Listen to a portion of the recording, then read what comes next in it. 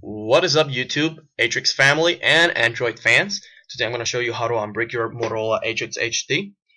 This is a one-click root method, a one-click bootloader method, and a one-click flash method. With this, you have every tool you're ever going to need for your Motorola Atrix HD. You can fix it, you can root it, you can unlock bootloader, anything. It's called the Myth Tools, and it's made by the Myth team. Uh, Special thanks to them, Devilskin, DJ R Bliss, Skivy Dude, and Leanix. Not Linux, Leanix. Alright.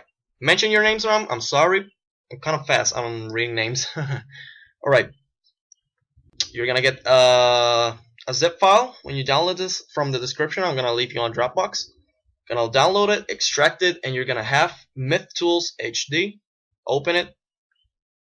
Here are all the tools you're gonna need and you're gonna open main bat okay here. First thing keep in mind Motorola drivers. Always keep in mind you have to have the latest Motorola drivers. This won't work if you don't have them. Just let's I already have installed but let's imagine I pressed 5 and pressed enter. Okay? The Motorola drivers will, will start downloading. If anything happens and the drivers just do not install, then I'm going to have a link to, in the description for the latest Motorola drivers. Alright? So don't worry. Next thing you're going to need is install the ADB Fastboot APK tools. Uh, this is crucial. You have to have this installed as well. Just press 1, enter, and that's it. Follow the and, and it will just download it. Next thing you're going to need, and of course, flashing stock firmware. For this, if you're going to flash back to stock, I will leave you this in the description. The 4.1.1 Atrix uh, stock firmware and Jelly Bean. All right. You just place this. This you just place it. Open the the Myth tools and place it on firmware. Paste it there. Okay. Crucial point right now. Remember to have it as a zip file don't extract it, don't make it RAR file, and don't make it uh well any other uh, file that you know of, right? Zip and that's it. Then you're gonna once you have everything done and installed, you're gonna go where it says main bat again, and you're gonna press 2 for flashing stock firmware. Alright, now stop right here. Turn your phone off if it's on. And if you have it off, just press the volume up and down button and the power button at the same time if you have your phone off. Alright? Then you're gonna see a white menu with uh that with a lot of selections right there and you're gonna select AP Fast Boot. You select it and you plug in your phone. Okay, I'm gonna take you to the phone itself just in case you didn't get my steps. Alright, I'm gonna show you through my Sony crappy camera, okay? Okay, so this is how it look. Is gonna look from the device itself. Sorry for the uh, the struggling I'm gonna have right now, but I only have one arm and the other arm holding the camera. Okay, power button right here, up down uh, volume up button right here, and uh, volume down button right here gonna hold them both at the same time and you're gonna get a menu with some letters white letters. You're gonna hold uh, with the volume button you're gonna select down AP fastboot and you're gonna select with the volume up and it will be on bootloader mode. Again if you didn't get that go down. With the volume up button you select the thing you want alright in, in which case AP fastboot will take you to this menu. Once you have that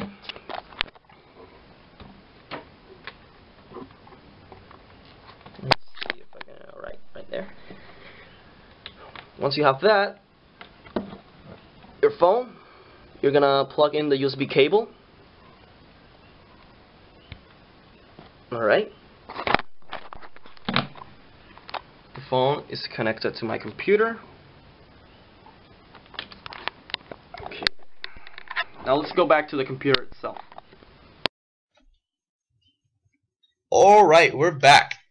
Now what you're gonna need to do is go to where it says main bat. You're gonna select flashing stock firmware, which is number two, and you're gonna press enter. But before you press enter, remember again, I'm just for caution, I don't want any errors to occur.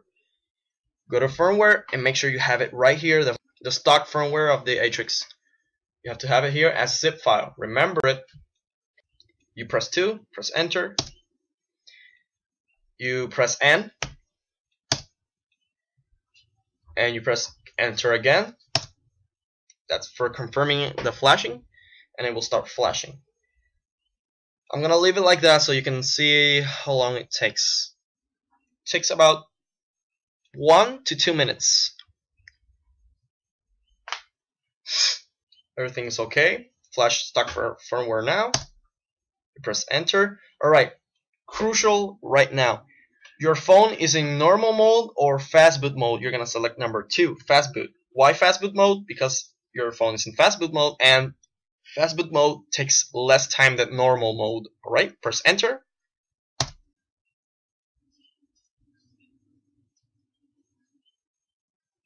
I'm gonna show you again how it looks from the device.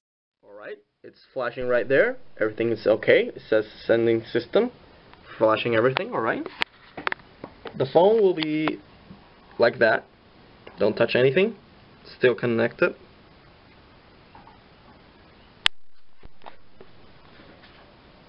Now let's go back to the computer. Okay, it's still flashing. Don't unplug your phone, alright? Everything is okay, but don't unplug it just yet. Now it says you want to use stock recovery from the Motorola Atrix HD, or you have you could have clockwork mod recovery. So I'm gonna select two, which is clockwork mod recovery. Press two, and hit OK. Flashing clockwork mod recovery. Alright. Now the phone will be booting up with a Motorola dual core techno technology logo. It will boot up uh, about in one minute. Alright. If you like this video, hit like, subscribe. If you didn't like it, hit unlike. If you have any problems, hit me up. I'll gladly help you with any problems you have. Thanks.